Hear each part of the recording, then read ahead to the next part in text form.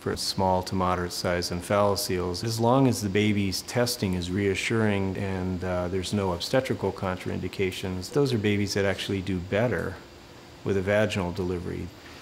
Babies with giant omphalocele or omphalocele that contain liver are a whole different issue. It is important, in our view, for fetuses that have a large or giant omphalocele in which there is a portion or majority of the liver in the omphalocele sac to have a planned delivery by cesarean section because of the risk of dystocia or difficulty in the delivery with the giant omphalocele or because of the risk of damage to the liver during, the, during a vaginal delivery. Charlie was delivered by C-section and immediately rushed over here to Children's Hospital and put in the neonatal ICU. In babies with omphaloceles, their bowel and liver are covered with a sac, and that sac is critical. If the omphalocele sac ruptures, then the complication risk and the risk of death skyrockets. So it's one of our top concerns when the baby's born that someone's sole responsibility is management of that omphalocele sac why someone else's responsibility is management of the airway. A lot of times infants with a giant omphalocele will have small lungs and require assistance right from the moment they're delivered. Charlie was put immediately on a ventilator and was on a ventilator for almost two months. For an omphalocele, we usually wrap with a sterile dressing the entire omphalocele and then bring the baby to the intensive care nursery. Just going to the NICU uh, for the first time was very scary.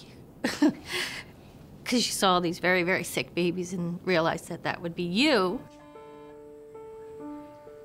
Once the baby is stabilized, the issue is how is the omphalocele going to be closed? Babies with small omphaloceles often are able to go to the OR and have what's known as a primary repair, which means they go to the OR one time and are able to have it closed right then and there. Then there are infants with giant omphalocele that contain different components of bowel and liver, and those infants um, are a little more complicated. There's not much abdominal capacity because virtually everything is out, particularly the liver. The majority of the, the liver is in the omphalocele sac.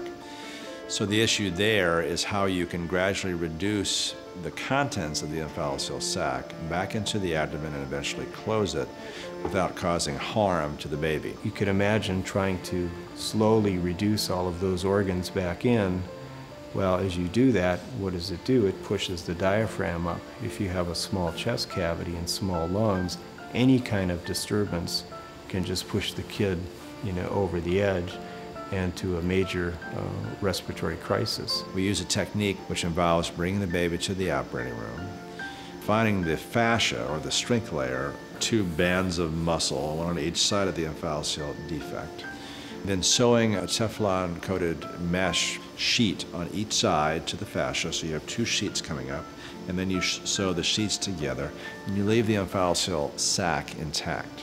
Then, usually on an every other day basis, you can then crimp down on these two sheets and sew them back together so you eventually close the baby all the way. During that time, we have to follow them very closely to make sure that with the challenges of closing the abdominal wall defect, we don't interfere or have any setbacks with their pulmonary performance. We watch the pressures that it takes to fill their lungs with air. We expect that those pressures will be high initially, post-op, and once they begin to come down, then that tells us that the baby's ready to go back to the OR. He went through seven different surgeries in the course of three weeks.